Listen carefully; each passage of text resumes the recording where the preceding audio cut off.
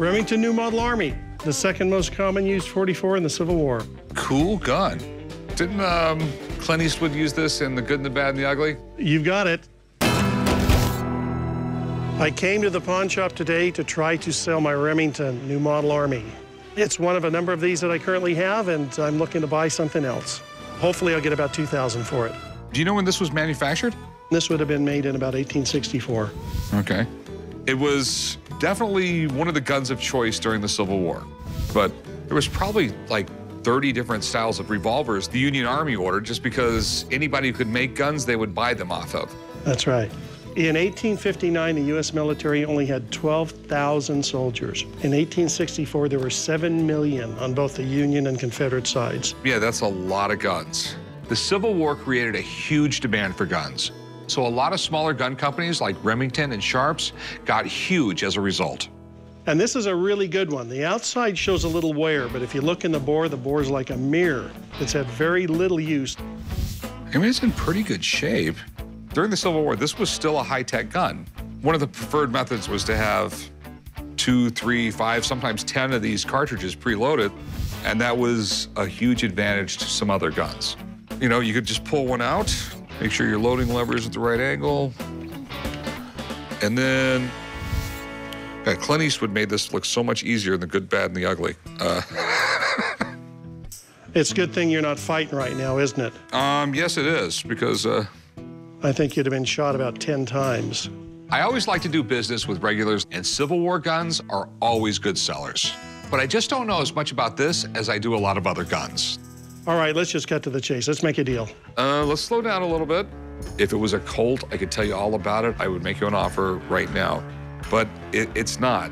I don't see a lot of these every day, and my understanding is there's like a million reproductions of these right now. Go ahead, you know, call in someone, you know, let some crazy guy come in here and tell you what I already know. Okay, I'll do that. All right, I'll be right back. Regular or not, I'm not buying this thing until I know 100% it's real. Rick. How's it going? Good. That's the gun. The guys call me down here when they need to know the actual market value of a gun, not what it's listed for, but what it sells for. Uh, Remington New Model Army. This is a great gun for a number of reasons. Uh, number one, the government liked it because it was cheaper. I think the cost was 15 bucks a gun. Uh, the Colt was 25. Oh, okay.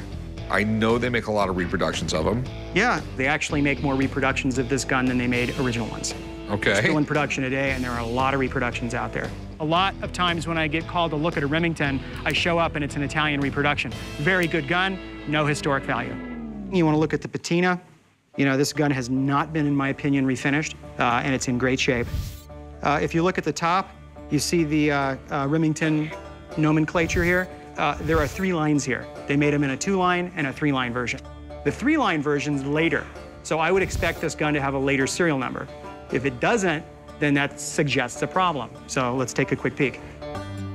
32952. This is a uh, 90,000 series gun. So in my opinion, this gun is authentic in every way. Okay, cool. Kind of what I expected. All right. Now the big argument, because this guy never agrees with me. what is a gun in that shape going for? There are a couple of drawbacks to this gun not being full mint or anywhere near it. Grips are a little loose. I would say as it sits for what it is, the price would be retail about $2,000. Okay. Thanks, man. Rick? You're the best. Now that we know this thing is genuine, I would love to have it for the shop. And these Remingtons don't come around nearly as often as Colts do. But it all comes down to the price. So you want to give me $2,000? No, You don't? 1500 bucks. 1500 So we're going to kind of do this little dance here again. But huh? it's not a dance. okay. I mean, I, I want to give you 1500 bucks for it. And Okay, 1900 No.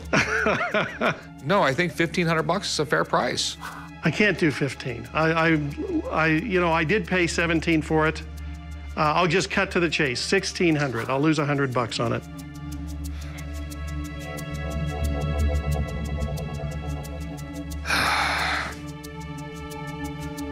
Just the fact that you're a really good customer and keep on bringing me guns, yeah.